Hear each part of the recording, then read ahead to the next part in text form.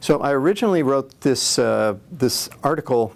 It grew out of a, an effort uh, that had two, two roots. One was the press report that was done by the National Academies in the mid-1990s, which addressed the whole science budget for the whole federal government.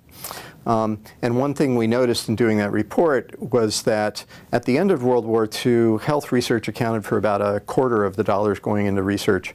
But by the time we did the report in the mid-1990s, it was more than half of all the research dollars were going to biomedical research. So health research had grown much faster than other kinds of research.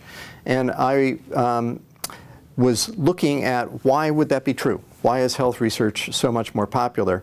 and I got a grant from the Robert Wood Johnson Foundation to try to explain what was distinctive about health research. Just at about that same time, the NIH went through the end of a doubling that happened from 1998 to 2003. And, but since 2003, the NIH budget has gone into a period of stagnation, and in fact, it's diminished in the amount of um, uh, research funding for health research compared to other kinds of research for the last decade. And now the question is, why did that happen? And that's uh, the origin of this article.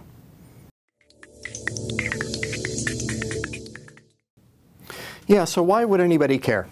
Well, the National Institutes of Health is the source of research that's trying to solve the problems of diseases we don't know how to, to deal with now. Um, and that's what NIH has generally focused on for its uh, whole history. It also does some other things that are directly related to health, like educate the, the, the public about health risks and things like that. But its core function has been to do research on diseases that we don't know how to deal with yet, in hopes that in the future we can do that. Um, therefore, it's been really popular for people in who are facing cancer or Alzheimer's disease or diabetes because we all don't like bad health, and we would all like research that would allow future generations to have better health. So there's strong support for the health rationale behind NIH research. The other thing is that since the 1980s, it's become readily apparent that federally funded research is really, really important for economic growth. And one of the fastest growing sectors of the U.S. economy has been biotechnology and the relationship to medical devices and drugs and other fast growing parts of the economy. So politicians care about jobs and wealth creation. Um, and so it's really important to understand what's the role of the NIH budget in both improving future health and in um, economic growth for the future of the United States.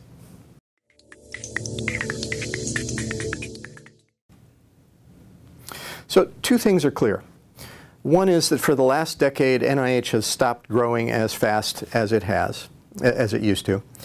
Um, and the other is that it's very clear that NIH is clearly linked to how we're going to deal with disease in the future. And we all know that Alzheimer's disease and cancer are going to continue to exact a huge toll on populations not only in the United States but throughout the world. So it's a, it's a high stakes game. And if NIH is stagnant, what's going to replace it? Um, and it's also important to understand, is the fact that NIH's budget has stagnated over the last decade caused by general dysfunction of the federal government, because nothing's working very well in the federal government anymore? Or is there something specific about biomedical research specifically that has made it less popular, less politically viable than it used to be?